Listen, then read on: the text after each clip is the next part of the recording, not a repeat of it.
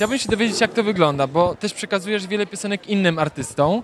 No i napiszesz sobie taką piosenkę i jakie to są myśli?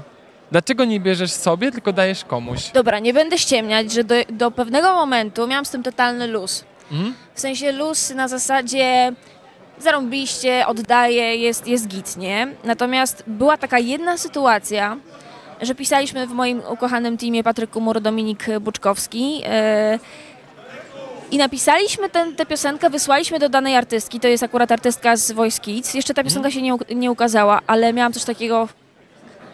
Źle zrobiłam. Źle zrobiłam, źle zrobiłam i, i żałuję tego, ale już nie było niestety, nie, nie mogłam tej piosenki odzyskać w żaden sposób. Mhm.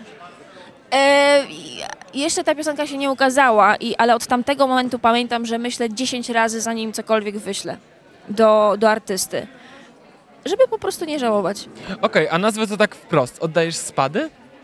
Nie, wiesz co, bo właśnie to jest to, że nie, staram się nie, nie myśleć o nie myśleć o, o piosence w kategorii, wiesz, spad. Mhm.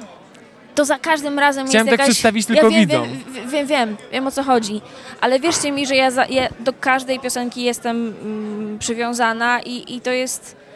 No to jest jak muzy- moje muzyczne dziecko, więc no wiesz, ciężko się oddaje.